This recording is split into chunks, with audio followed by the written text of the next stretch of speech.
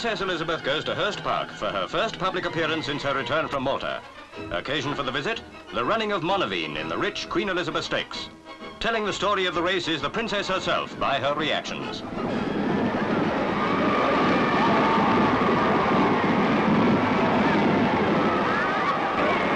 Raised hats and broad smiles tell of a royal victory. Jointly owned by the Queen and the Princess, Monaveen had romped home to bring off odds of 10 to 1. Jockey Tony Grantham comes in for a royal well done, and Monaveen strengthens her Grand National hopes. Grand reunion.